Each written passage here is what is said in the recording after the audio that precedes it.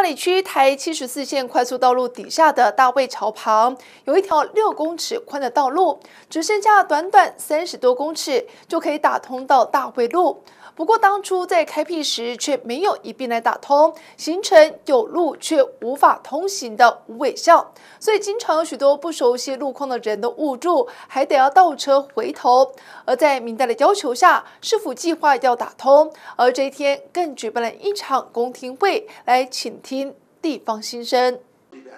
公听会上，民众轮流说出心声，大家期盼大卫桥东侧道路打通，连接到大卫路已经多年。因为当初国公局在施作台七四线快速道路底下平面道路时，并没有一并打通这条道路，如今造成有头无尾。九点有机车、人、汽马、乌多拜、混泥车、砂石车，九点哦，这个坡道直接落来哦。这个路的安全有分歧是干毋是哦？为环中东遐会当切入来，加一个出入，莫阁细遐大。哦，这种这种咱会当咱嘛会当啊支持啊来理解嘛愿意来合作，但是徛伫这个安全性的部分，我觉得这个好像还不太够。哦，因为确实这个路口不是一般的，我们说啊就打一个十字路口就就简单过去了嘛。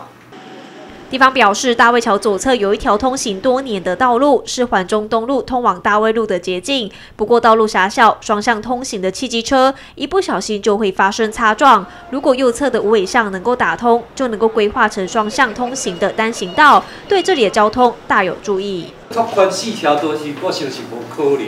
啊，至于你讲，拄啊讲，诶，那如果相平来讲，哦，征收一笔。哦，啊，变成讲这条路都加都加两米船，应该是可行性有了。上主啊，要做安全问题，绝对要顾虑好好势，包括保障方面，包括袂当互互人损失了济。对疏解大卫桥交通瓶颈的问题，地方乐观其成。不过届时会有一小部分工厂厂房必须要拆除，闽代则是建议提高补偿，道路设计也必须要兼顾安全，希望让这条道路尽速打通。接下来，风台中场报道。